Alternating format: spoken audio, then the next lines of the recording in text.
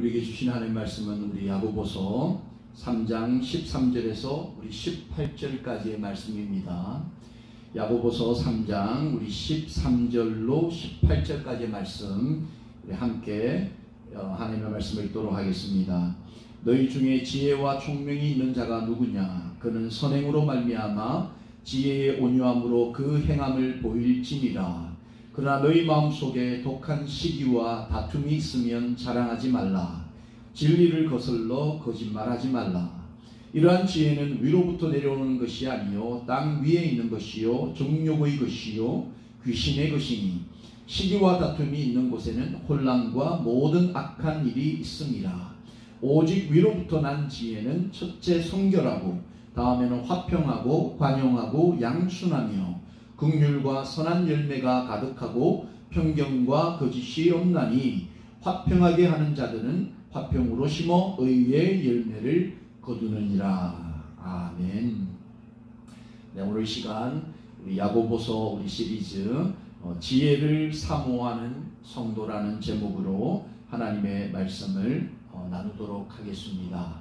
우리 지난 주일 말씀 어, 우리가 기억을 한번 해보면 어, 성도라면 예, 이 말과 혀, 또 이 입 밖으로 나오는 모든 말들, 예, 이 모든 것들을 조심해야 하고, 네, 특별히 이 혀와 입을 길들여야 한다. 이렇게 우리가 말씀을 어, 나누었습니다. 오늘은 이처럼 이 사람의 입과 혀, 예, 이입 밖으로 나오는 이 말의 출처가 뭐냐는 거죠. 안에 있는 것이 밖으로 나온다. 성도의 입 밖으로 나오는 것이 안에 무엇이 있기 때문에 그것이 우리의 입 밖으로, 우리의 몸 밖으로 나온다. 그래서 그 출처로 인해 정말 성도가 깨달아야 되는 것. 예, 우리 안에 무엇이 있는가. 예, 그것을 한번 어, 살펴보고자 합니다. 이 저자 야고보는 사람의 입과 혀를 통해서 이 나오는 말의 그 출처를 보면 바로 그것이 그 사람의 지혜와 지식의 근원이 안에서 나온다. 이렇게 말씀하고 있습니다. 이 저자 야고보는 사람의 입과 혀를 통해 나오는 그 말의 출처를 살펴, 살펴보면 그것이 바로 지혜와 지식의 근원에서 바로 나오는 바로 지혜와 지식의 근원이다. 그것이 우리 성도의 마음 속에 있다라고 말씀하고 있습니다. 이 입과 혀를 통해서 나오는 말, 예, 바로 사람 안에 쌓여 있는 그 지식과 예, 그 지식, 지혜, 이 지혜와 지식이라는 이 샘터에서 그 쌓였던 것이 사람의 입과 예, 혀를 통해서 나오게 된다. 흘러나올 수밖에 없다. 이렇게 말씀하고 있습니다. 자, 그렇기 때문에 성도에게 있어서 이 마음속에 있는 이 지식과 지혜의 근원이 너무나 중요하다. 그리고 이 지혜와 지식을 귀하게 생각하기에 정말 이것을 소유하고자 예, 사모해야 된다. 이렇게 말씀하고 있습니다. 여러분 이 잠언서 3장 13절로 15절 말씀을 보시면 지혜를 얻은 자와 명철을 얻은 자는 복이 있나니 이는 지혜를 얻은 것이 은을 얻는 것보다 낫고 그 이익이 정금보다 나음이니라. 지혜는 진주보다 귀하니 네가 사모하는 모든 것으로도 이에 비교할 수 없도다. 이렇게 기록하고 있습니다. 오늘날 많은 성도들이 이 땅을 살아가면서 정말 이 가장 귀, 귀중한 이 지혜와 지식을 예, 소유하기를 사모하기보다 이 땅에 예, 금과 은을 쫓아서 그것을 소유하기를 더 사모하고 있다는 거죠. 그런데 사람 속에 있는 이 지혜와 지식은 정말 세상의 그 어떤 과도, 그과도 비교할 수 없는 참으로 소중하고 귀한 것이라는 거죠. 자, 이처럼 이 소중하고 귀중한 이 지혜와 지식에 관련하여서 이 성도라면 어떻게 해야 하는가 이 저자 야고보가 오늘 어, 두 가지로 영적인 예, 교훈과 또 권명과 도전을 우리에게 주고 있습니다. 그 첫 번째 영적인 교훈은 예, 성도라면 세상적인 예, 지식과 지혜를 의지해서는 안 된다. 이렇게 말씀하고 있습니다. 예, 이 땅을 살아가는 주 예수 그리스도를 우리 구주로 영접한 성도라면 지혜와 지식이 너무나 중요한데 세상적인 지식과 지혜를 사모하고 그것을 의지해서는 안 된다는 것을 꼭 기억해야 합니다. 이 오늘 이 본문을 시작하면서 이 저자 야고보는 불특정 다수를 향하여서 이 말씀을 전하는 것이 아니라 정말 특정 소수를 향하여서 지금 이 말씀을 권면을 주고 있는 겁니다. 여러분 본문 13절 말씀을 한번 보시면 너희 중에 지혜와 총명이 있는 자가 누구냐? 지금 저자 야고보는 지난번 주일날 우리가 말씀을 나누은 것처럼 선생이 되고자 하고 예, 앞에 서서 남을 가르치기를 좋아하는 자들을 향해서 말씀을 전했습니다. 근데 오늘은 그 가운데에서도 스스로 지혜와 총명이 있다라고 자랑하고 예, 하는 말하는 그런 사람이 누구냐라고 반문하고 질문하고 있는 거죠. 너희 가운데 정말 지혜 있다라고 하고 총명이 있다라고 자랑하는 자들이 누구냐? 예. 자 그렇다면 너희 가운데 지혜와 총명이 있다면 13절 말씀에 그는 선행으로 말미암아 지혜의 온유함으로 그 행함을 보여라. 지혜를 이야기하고 있죠. 그 지혜의 온유함으로 그 행함을 보여 보아라. 이렇게 저자 야고보가 이야기하고 있는 것입니다. 여러분 스스로 지혜와 총명이 있다고 여기면서 또 말하면서 다른 사람들을 가르치려고 하고 다른 사람들의 선생이 되려고 하는 자들을 향해서 너희가 과연 지혜와 총명이 있다면 그것에 걸맞는 행함을 보여 보여 보아라 이렇게 예, 권면하고 있는 거죠. 자신들까지 지혜와 총명의 근원이 바로 하늘로부터 하나님께로부터 난 것이라면 당연히 그 지혜의 온유함으로 행함을 보일 수 있어야 합니다. 여러분 사람의 마음 속에 있는 것 그것은 반드시 밖으로 나오는 것입니다. 사람에게 지혜와 예, 총명함이 그 안에 있다면 그것은 반드시 예, 밖으로 나올 수밖에 없는 것이죠. 마태복음 15장 18절 말씀을 여러분 보시면 입에서 나오는 것들은 마음에서 나오는 나오나니 이것이야말로 사람을 더럽게 하느니라 이렇게 예수님께서 말씀하셨습니다. 입에서 나오는 것들은 마음에서 나온다. 성도가 살아가면서 내뱉는 여러 가지 그 말들 그것은 바로 사람의 마음에서 나오는 것이라는 거죠. 그 마음에 지혜와 총명이 있다면 반드시 지혜와 총명에 걸맞는 것들이 성도의 입 밖으로 나올 수밖에 없다는 것입니다.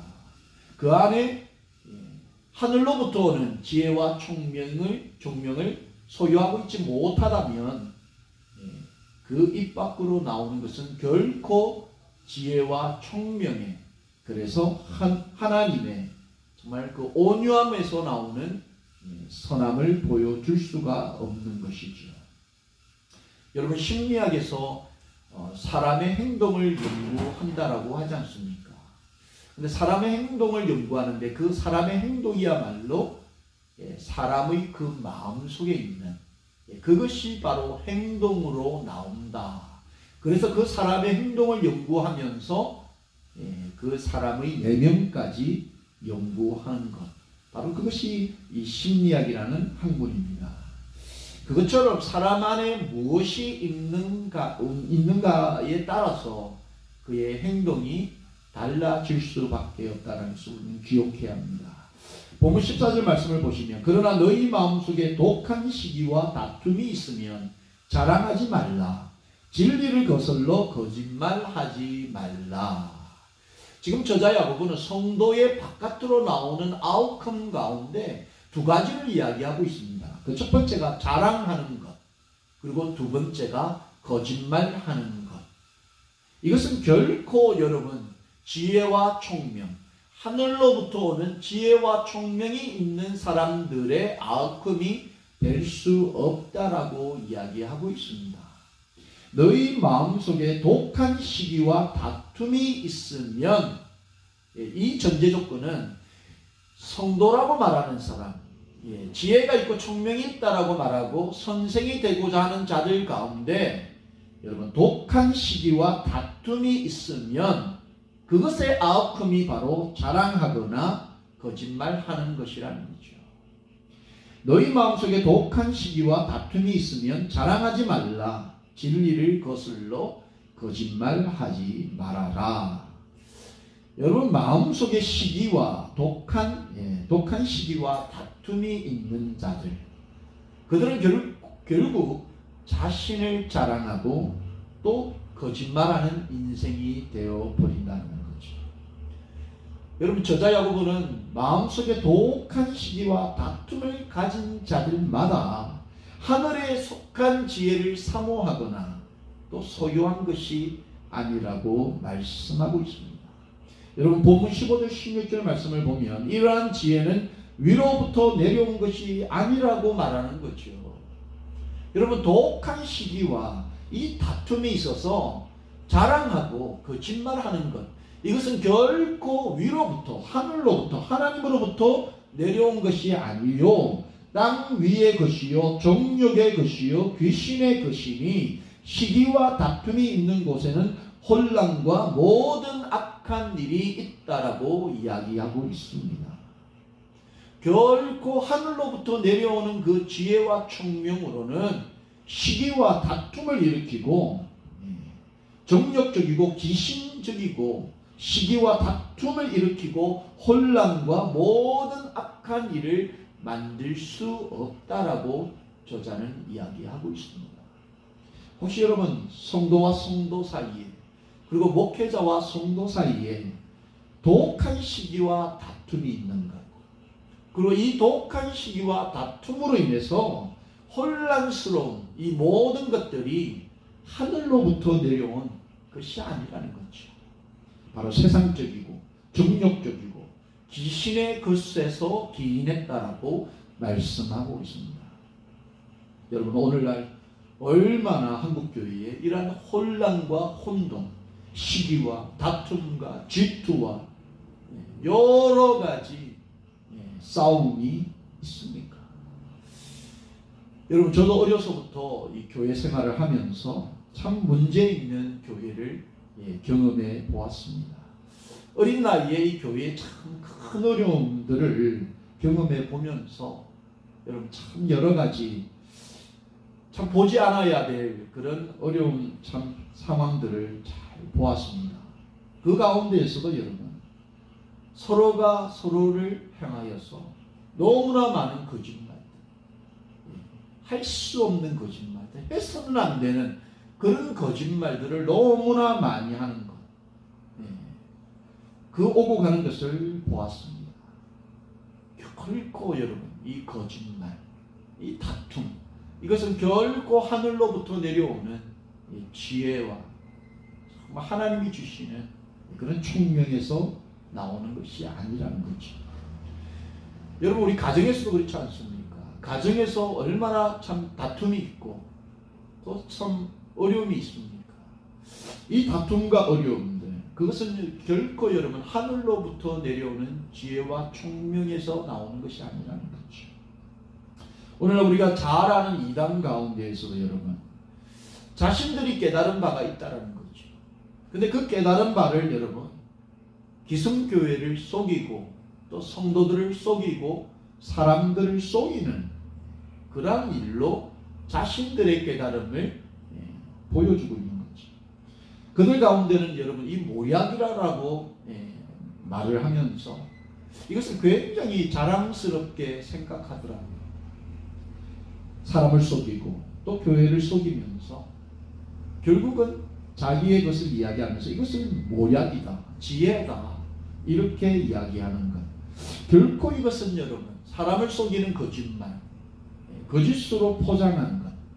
이것은 결코 하늘로부터 내려오는 예, 지혜와 총명일 수 없다는 거죠. 결국 이 자신들이 말한 이 모략이라는 것, 참 천한 인간적이고 세상적이고 정욕적이고 또 열시, 욕심이고 자기 예, 정욕에 사로 잡혀서 사람들을 무너뜨리고 예, 이간질시키고 예, 자기의 것으로 만들려는 그런 초난 인간적인 것이 아닙니까? 그럼에도 그것을 여러분 그들은 깨닫지 못하는 거죠. 결코 하늘로부터 내려온 지혜의 기인한 것이 아니라는 겁니다. 여러분 보면 13절 말씀을 다시 한번 보면 너희 중에 지혜와 총명이 있는 자가 누구냐? 그는 선행으로 말미암아 지혜의 온유함으로 그 행함을 보여라 이렇게 말씀하고 있습니다. 하늘로부터 오는 지혜와 총명이 있다면 무엇보다 그 안에서 무엇이 나오냐? 선행이 나온다라는 것. 이 선행으로 말미암아 지혜의 온유함으로 그 행함을 보일 수 있어야 한다라는 겁니다. 그래서 성도는 하늘로부터 오는 지혜를 사모해야 되고 세상적인 그 지식과 지혜를 의지해서는 안 된다는 겁니다. 요즘에 얼마나 많은 이단들이 또 얼마나 많은 연약한 성도들이 정말 세상적인 이 지혜와 지식을 의지한 채 자신이 깨달은 것, 그것을 의지하고 자신의 경험을 의지하고 자신이 가진 것을 예, 의지함으로써 그 안에서 정말 선행이 나옴으로 그 지혜의 온유함으로 행함을 통해서 자신의 믿음을 증명하는 그런 성도들이 많이 부족하다는 거죠. 이것이 바로 오늘날 세상이 믿는 우리를 향하여서 정말 외치고 있는 아홉성이 아니겠습니까? 여러분 세상의 시기와 그 질투, 다툼과 그 질수로는 결코 이 온유함의 선행이 나올 수 없다는 거죠. 여러분 마태복음 5장 14절로 16절 말씀을 보면 예수님께서 우리 믿는 성도들에게 주시는 가르침이 있습니다. 너희는 세상의 빛이라. 산 위에 있는 동네가 숨겨지지 못할 것이요. 사람이 등불을 켜서 말 아래에 두지 아니하고 등경 위에 두나니 이러므로 집안 모든 사람에게 비치느니라. 이같이 너희 빛이 사람 앞에 비치게 하여 그들로 너희 착 한 행실을 보고 하늘에 계신 너희 아버지께 영광을 돌리게 하라 이렇게 말씀하셨습니다. 우리는 여러분 세상에 감출 수 없는 빛과 같은 존재라는. 우리가 빛이라는 겁니다. 근데 이 빛은 여러분 어디 구석진 곳에 어디 어두운 곳에 어디 아래에 두는 것이 아니라 위에 두어서 모든 사람들에게 예, 그 빛을 비치게 하는 역할이 있다는 거죠. 그래서 하나님께서는 우리를 믿는 자로 죄로부터 부르셔서 우리의 그 착한 행실, 하늘로부터 오는 그 지혜와 총명함의 그 온유함의 행실, 그 착한 행실로 말미암아 바로 살아계신 하나님께 영광을 돌리게 하는 그 일을 감당케 하기 위하여 우리를 부르셨다는 겁니다. 이 거룩한 부르심을 받은 성도라면 우리는 세상의 그 독한 시기와 질투, 예, 거짓말과 허탄한 것, 그러한 세상적인 지식과 지혜를 의지하며 살아가서는 안 된다는 거죠. 도리어 우리는 세상의 빛으로 착한 행실을 통해 하나님께 영광 돌리는 그러한 인생을 살기 위해서 결코 세상의 지식과 지혜로는 할 수 없다는 것을 깨닫고 정말 우리가 믿고 있는 또 우리가 소유했다라고 생각하는 것 우리에게 지식이 있다라고 지혜가 있다라고 여기는 네, 그것을 다시 한번 하나님 앞에 점검하는 그래서 세상적인 그런 지식과 지혜를 의지하지 아니하는 그런 복된 성도 되시기를 예수님의 이름으로 축원합니다. 두 번째 오늘 저자 야고보는 우리에게 성도라면 바로 하늘로부터 오는 정말 귀중한 지혜와 지식을 사모해야 한다. 이렇게 우리에게 권면해 주고 있습니다. 성도라면 여러분 계속해서 하늘로부터 오는 것, 하늘로부터 주어지는 그 영적인 것을 사모하고 그것을 날마다 소유하기 위해 우리는 몸부림을 쳐야 한다는 거죠. 그런데 세상은 또 이 사단 마귀는 지속적으로 성도로 하여금 이 땅의 것에 시선을 두고 세상 끝에 만족하며 살아라 우리를 유혹합니다. 예. 오래 전에 받았던 예, 그 은혜를 예, 날마다 우리는 유지하기 위해서 하루도 예 정말 하루라도 우리는 하늘로부터 오는 주님께서 주시는 그런 귀한 지혜와 지식의 영을 우리는 소유해야 된다는 거죠. 여러분 그 뱀자리 어, 뱀잡이 술이라는 이 독수리과에 예, 속한 독수리가 있습니다. 여러분 이 뱀잡이 술, 이 독수리가 참 독특합니다. 이 독수리는 여러분 땅에서 예, 사냥을 하는 예, 독특함이 있습니다. 그래 땅에서 걸어 다니면서 여러분 이 뱀과 같은 예, 이런 먹잇감을 사냥을 합니다.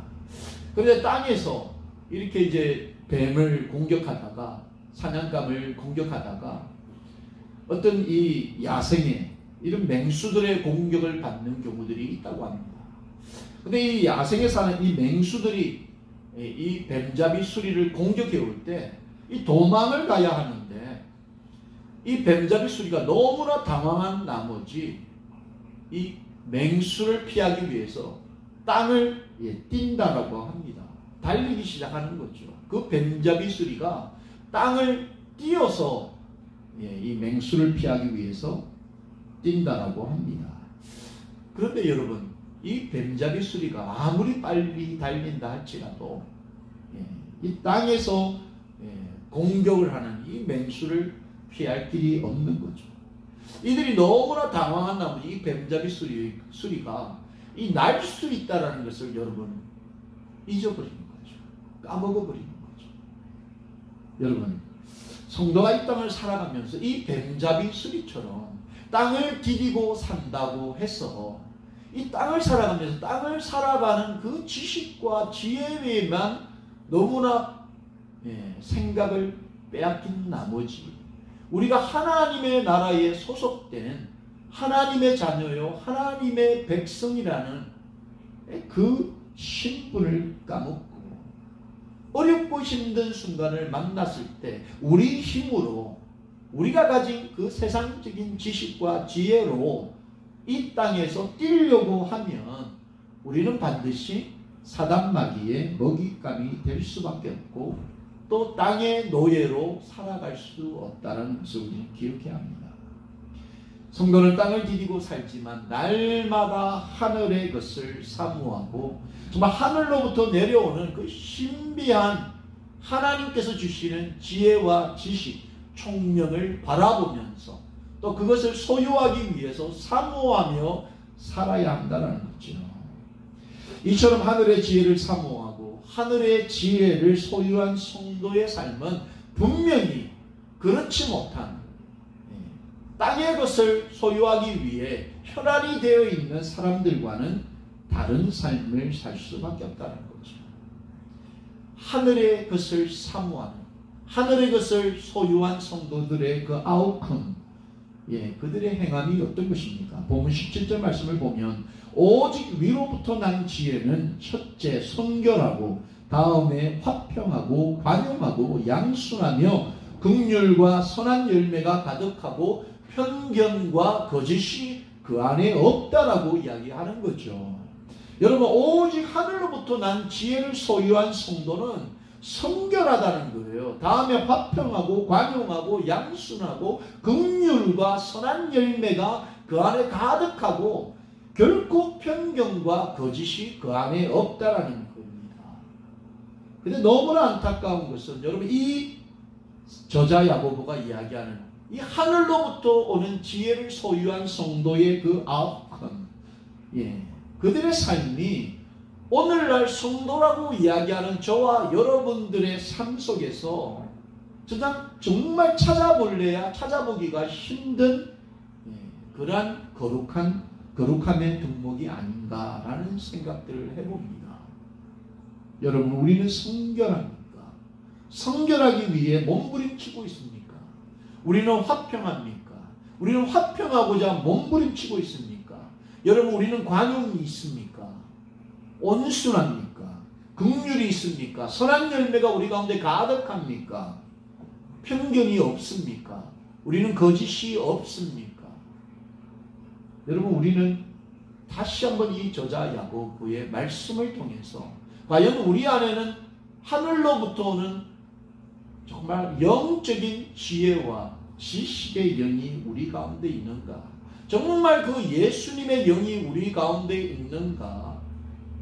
다시 한번 우리의 믿음을 점검하고 또 우리의 삶을 점검해야 된다는 거죠. 참 오늘날 참 많은 교회들이 교회 안에서 얼마나 시기와 질투와 예, 다툼과 정말 거짓말이 얼마나 많이 있습니까? 교회가 분열할 때 그 안에 얼마나 많은 예, 거짓과 서로를 낮추어 보면 예, 자기 것만 옳다고 말하는 그 독성, 양순과 긍휼과 관용은 사라져버린 그런 교회, 그런 성도들이 얼마나 많이 있습니까? 오직 하늘로부터 내려오는 지혜는 성도로 하여금 성결하게 만듭니다. 깨끗하고 거룩한 삶을 살게 만든다는 거죠. 그렇기 때문에 우리는 날마다 하늘로부터 오는 이 하나님의 영, 거룩한 지혜, 이것을 우리는 사모하고 붙들어야 된다는 거죠. 성령 하나님께서 우리 안에 거하시게 되면 무엇보다 우리는 거룩한 모습으로 살기 위해 몸부림치게 된다는 거죠. 여러분 사도 바울은 로마서에서 이렇게 말씀하고 있습니다. 로마서 12장 1절 말씀 보시면 그러므로 형제들아 내가 하나님의 모든 자비하심으로 너희를 권하노니 너희 몸을 하나님이 기뻐하시는 거룩한 산 제물로 드리라. 이는 너희가 드릴 영적 예배니라. 여러분 오늘날 이 코로나 바이러스로 인해서 예배를 어떻게 해야 되는가? 예배를 어디서 드려야 되는가? 예배를 어떤 모습으로 드려야 되는가? 수많은 목회자와 수많은 성도들이 예, 그것에 관해서 말을 하고 있습니다. 근데 다시 한번 우리가 이 사도 바울의 정말 우리가 하나님 앞에 드려야 할 올바른 영적인 예배가 무엇인지 다시 한 번 더 우리가 말씀으로 돌아가면 형제들아 내가 하나님의 모든 자비하심으로 너희를 권하노니 너희 몸을 하나님이 기뻐하시는 거룩한 산 제물로 드리라. 이것이 바로 우리가 드려야 하는 영적인 예배라는 겁니다. 우리는 거룩한 산 제물로 우리의 몸을 하나님 앞에 드리고 있습니까? 정말 하늘로부터 오는 그 성결하고 화평하고 관용하고 온유하고 양선하고 양선이 그 가운데 양순하고 긍휼하고 선한 열매가 가득하여서 정말 편견과 거짓이 없는 그러한 영적인 예배를 우리는 날마다 하나님께 올려드리고 있습니까? 그런데 여러분 이것을 우리 저자 야고보가 말하는 이 선한 열매 이 선한 열매와 사도 바울이 말하는 성령의 아홉 가지 열매가 너무나 많은 부분 예, 닮아 있다는 겁니다. 여러분 갈라디아서 5장 22절에서 23절 말씀을 한번 보십시오. 오직 성령의 열매는 사랑과 희락과 화평과 오래 참음과 자비와 양성과 충성과 온유와 절제니 이 같은 것을 금지할 법이 없다 이렇게 말씀하고 있는 거죠. 성령의 열매가 이렇다는 겁니다. 지금 저자 야고보가 말하는 정말 하늘로부터 오는 그 지혜와 지식을 소유한 성도들에게서 나오는 선한 열매와 사도 바울이 말하는 이 아홉 가지의 성령의 열매가 너무나 많은 부분 흡사하다라고 말할 수 있는 거죠. 정말 여러분 사랑과 희락과 화평과 오래 참음과 자비와 양성과 충성과 온유와 절제 정말 이것이 하늘의 그 거룩한 그 예수님의 영을 소유하고 하늘로부터 오는 지혜와 지식의 영을 소유한 성도들에게서 이것이 나온다라는 겁니다. 그런데 여러분, 이러한 성령의 열매는 떠나간 지 옛날이요. 우리 가운데 정말 온순하고 정말 사람들을 사랑하고 돌보는 그런 깨끗한 정말 신앙 양심은 사라지고 그 가운데 물질을 붙잡고 그 가운데 거짓으로 자신을 포장하고 성도 간에 이간질하고 목회자와 성도가 성도와 성도가 싸우고 다투고 분리하고 서로를 나누는 그러한 열매들만 오늘날 가득하지는 않는지 우리 스스로를 돌아보아야 된다는 거죠.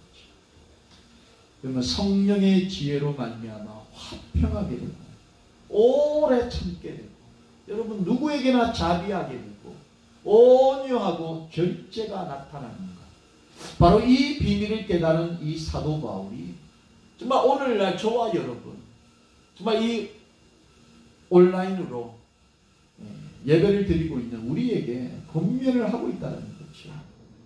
성령의 아홉 가지 열매 다음에 나오는 바로 그 구절로 우리에게 도전하고 권면하고 있습니다. 갈라디아서 5장 24절로 26절 말씀을 보면 그리스도 예수의 사람들은 육체와 함께 그 정욕과 탐심을 십자가에 못 박았느니라. 만일 우리가 성령으로 살면 또한 성령으로 행할지니 헛된 영광을 구하여 서로 노엽게 하거나 서로 투기하극하지 말아라. 이렇게 말씀하고 있습니다. 예수의 사람들은 육체와 함께 그 정욕과 탐심을 모두 십자가에 못 박았다. 육체의 정욕과 탐심을 여러분 예수 그리스도께서 우리를 위하여 달려 죽으신 그 십자가에 우리도 못 박은 사람들이 바로 예수의 사람들이라는 거죠. 오늘날 이 예수를 믿는다라는 사람들, 교회에 다닌다는 사람들, 예수의 영을 소유했다는 사람들, 우리 가운데 아직도 여러분 건물을 사랑하고 돈을 사랑하고 세상에 바람 잡는 일을 사랑하는 그런 성도들이 있지는 않습니까? 우리가 성령으로 살면 또한 성령으로 행해야 한다라고 합니다. 헛된 영광, 눈 뜨고 눈 감으면 사라져버릴 이 땅의 여러분 영광, 믿지 않는 사람들이 구하는 그런 영광, 더 많이 누리고, 더 많이 소유하고, 더 많이 떵떵거리는 그 위치에 서서 살아가려는 이 땅의 헛된 영광을 구하고 서로를 분노하게 만들고 서로를 이간질시키고 서로 싸우게 만드는 그러한 인생을 살지 않는다라는 겁니다. 바로 이것이 예수의 사람들이요. 예수의 사람들이 날마다 몸부림치면서 소유하고자 소망하고 바라는 기도하는 것이 바로 하늘로부터 오는 하나님께서 주시는 거룩한 그런 지혜요 하늘의 충능이라는 겁니다. 여러분 그래서 우리는 하늘로부터 내려오는 지혜를 날마다 사모해야 합니다. 날마다 사모해야 합니다. 어제까지 그 지혜가 있었다 할지라도 오늘 사모하지 않아서는 안 되는 것입니다. 날마다 우리는 그 하늘로부터 오는 지혜를 사모하고 지혜의 영을 소유하고자 하나님께 의뢰해야 한다는 겁니다. 여러분 잠언서 3장 5절로 7절 말씀에 보면 너는 마음을 다하여 여호와를 신뢰하고 네 명철을 의지하지 말라. 너는 범사의 그를 인정하고 그리하면 네 길을 지도하시리라. 스스로 지혜롭게 여기지 말지어다. 여호와를 경외하며 악을 떠날지어다. 여러분 마음을 다하여 여호와를 신뢰해야 합니다. 특별히 여러분 오늘처럼 오늘날처럼 여러분 세상이 얼마나 어려움 속에 지금 빠져 있습니까? 수많은 사람들이 이 생각지도 못한 이 바이러스를 통하여서 죽어나가고 있는 상황이고 지금 나라들마다 이 바이러스로 인해서 얼마나 어려움을 당하고 있습니까? 또 여러분 믿는 성도로서 우리가 지금 함께 모여서 하나님을 찬송하고 예배하지 못하는 참 어려운 그런 상황에 우리가 노출되어 있지 않습니까? 또 우리가 경제적으로 또 어떻습니까? 우리가 그 경제 활동에 있어서 참 쉽지 않은 상황 속에 있지 않습니까? 참 힘들고 어려운 그 상황에 놓여 있는 우리에게 하나님께서는 날마다 하나님을 신뢰하고 하늘로부터는 지혜와 지식을 정말 의지하고 그것을 사모하고 너의 명철, 너가 가지고 있는 그 지식, 세상적인 그 지혜를 의지하지 말아라. 우리에게 권면하고 있습니다. 그리고 범사의 하나님을 인정하라. 이 범사라는 것은 좋을 때만 하나님을 인정하는 것이 아니라 우리 가운데 어렵고 힘들고 눈물 나고 외로운 상황이 우리 앞에 펼쳐진다 할지라도 예수의 사람들은 하나님을 신뢰하되 범사의 그를 의지하고 그를 믿어라 이렇게 우리를 예, 권면하고 있습니다.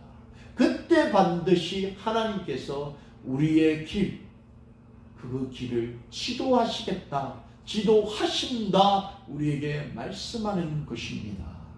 순간순간마다 여러분 특별히 어렵고 힘든 상황을 만났을 때 세상적인 그 지식과 지혜를 의지하거나 그것을 찾아 헤매서는 결코 안 됩니다.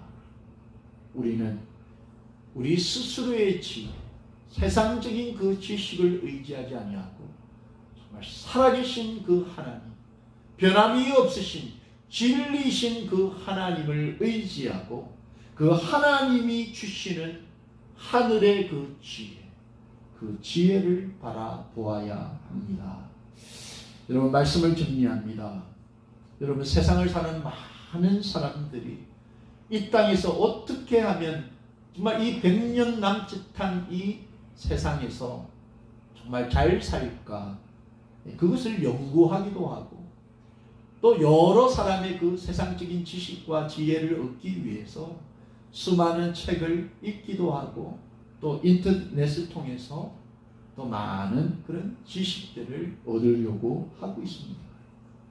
그런데 여러분 이 땅에서 잘 살기 위한 그 지식과 지혜는 겨, 결코 땅 아래에서 오거나 땅 아래에 있지 않다는 것입니다.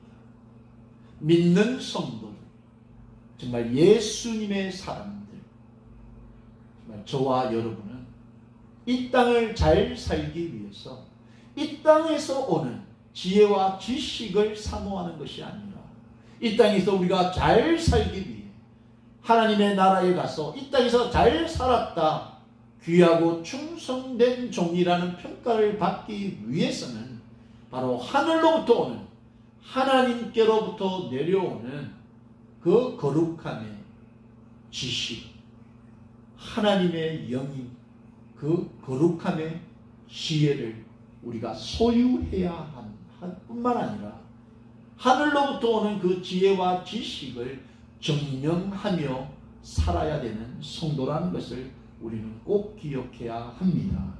잠언 9장 10절 말씀에 여호와를 경외하는 것이 지혜의 근본이요 거룩한 자를 아는 것이 명철이라라고 말씀하고 있습니다. 여호와를 경외하는 그것이 바로 여러분 지혜의 근본이라는. 우리가 하나님을 오늘 예배하면서 그분의 살아계심과 생사화복을 주장하시는 그 하나님 우리를 이 땅에서뿐만 아니라 영원한 하나님의 나라에까지 우리를 인도하실 그 하나님을 경외하고 그분을 예배하고 그분을 찬송하고 그분의 그 선한 행실을 착한 일을 선포하고 자랑하는 그 성도의 삶을 살아가는 성도임을 우리는 반드시 기억하고 그 하나님께서 주시는 지혜와 지식의 영을 오늘도 내일도 우리의 호흡이 닿는 그 순간까지 사모하며 그것을 소유하기 위하여 몸부림치시는 저와 여러분 우리 모든 성도님들 되시기를 예수님의 이름으로 축원합니다. 우리 함께 찬송하겠습니다.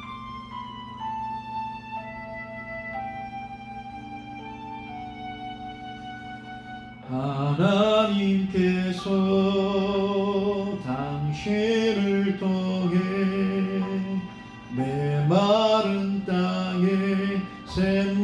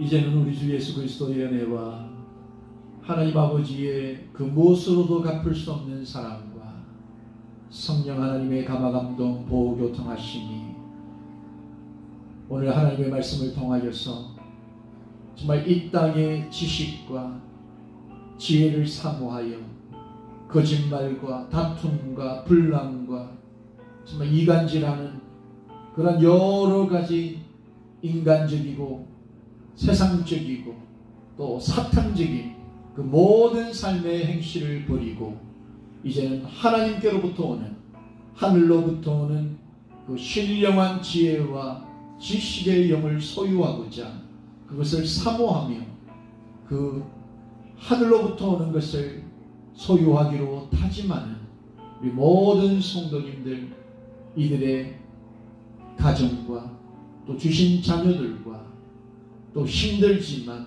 그 모든 삶의 터전 위에 이제부터 영원토록 함께 계시기를 주 예수 그리스도의 이름으로 축원하옵나이다. 아멘.